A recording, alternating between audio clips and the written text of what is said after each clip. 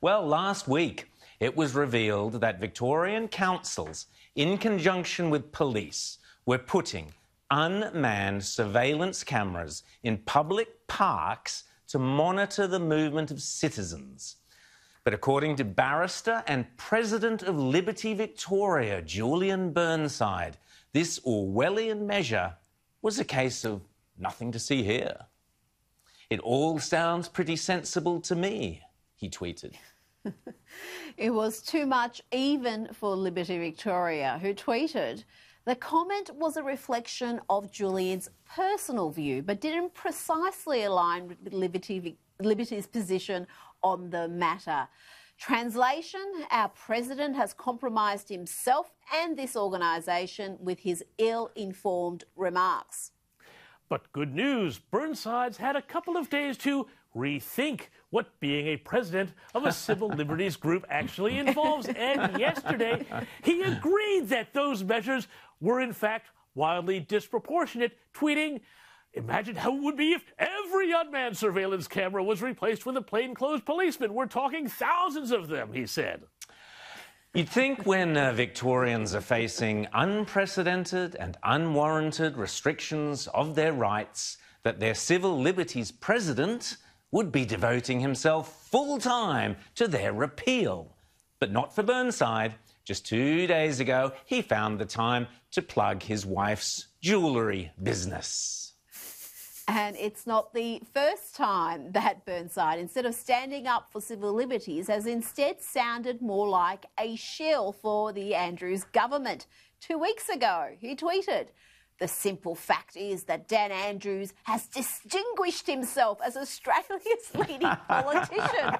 oh, goodness me. Leading in the sense that Victoria has recorded 90% of coronavirus deaths in Australia. Is that how he's leading? but it gets better. Last week he tweeted, quote, most Victorians are unhappy about the extended COVID 19 lockdown, but most Victorians understand why it's necessary. Really, Julian? a new poll this morning shows Victorian Premier Daniel Andrews would lose an election if it were held today. Truth is, Burnside has a long history of embarrassing himself. Remember this tweet in 2018 from a bogus Donald Trump account. Arrived in Argentina, first time that any US president has visited. They love me here. I've never been to Africa, so it's very exciting. It was obviously a parody account, but guess who fell for it? Wow, tweeted Burnside. Leave aside that he can't spell, might have been a clue there. Trump thinks Argentina is in Africa. President of the USA and a grade A moron. Uh, who's the moron, Julian? Or how about in 2019 when a parody account for One Nation Senator Malcolm Roberts tweeted, Please show me the empirical evidence of the moon landing and don't bother with anything from that corrupt organisation NASA. Burnside excitedly tweeted and has subsequently deleted this. Really? And you are in our parliament? God save us. Have a look at some of the photographs of Earth taken from the moon. well, as it turned out, someone was off the planet, but it wasn't Senator Malcolm Roberts. Here was Burnside in 2011 breezily declaring that the collapse of the Gillard government's Malaysian solution would not result in an influx of asylum seekers. Now, the idea that we're going to be flooded with uh, boat people is one of the bogies that, that Chris, uh, rather that um, Scott Morrison tries to bring out, but um, it's never happened in the past. Now, I don't see any reason why it'll happen in the future. It's a dangerous voyage. Boogies? No, Julian Burnside. There was no influx of asylum seekers after the dismantling of John Howard's Pacific Solution. Just 50,000 of them. then there's Burnside's hypocrisy. For example, in 2016, he tweeted, is it true Peter Dutton has over 5 million in negatively geared properties? He needs to come clean and tell us. Well, last year, when Burnside ran as a federal candidate for the Greens, who oppose negative gearing, The Australian revealed Burnside and his wife had amassed a $20 million property portfolio, including a Victorian mansion, multiple waterfront apartments in Melbourne and Sydney, and a spectacular cliff-top beach retreat.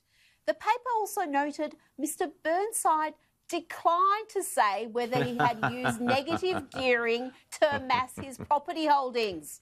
And in, I mean, and in 2014, Renaissance man Julian Burnside tweeted, quote, Ripper piece, Louise Milligan outs AFL for its 1950s style sexism.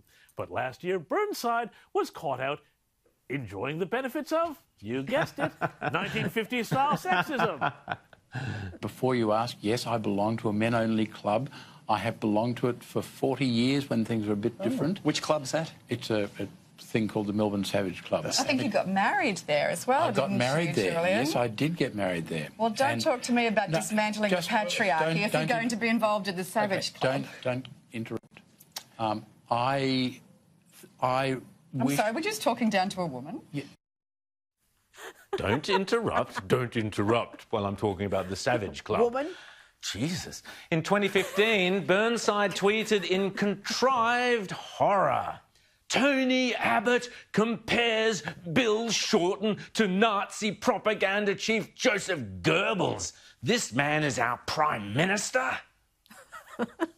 But just the year before, Burnside had tweeted, Question time, Scott Morrison looking more and more like Hitler as he ranted at the dispatch box.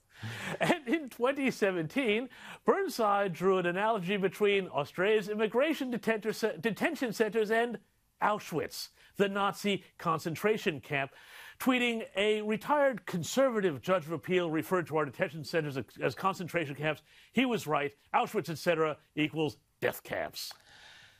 So, what do you say about a man who's supposedly a gifted barrister and a great intellectual?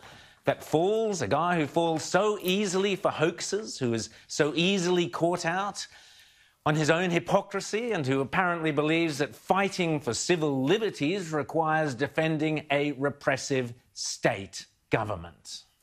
And this is why it's such great irony because all along, you know, he's just a simpleton. Don't talk down to me. Don't talk down to me.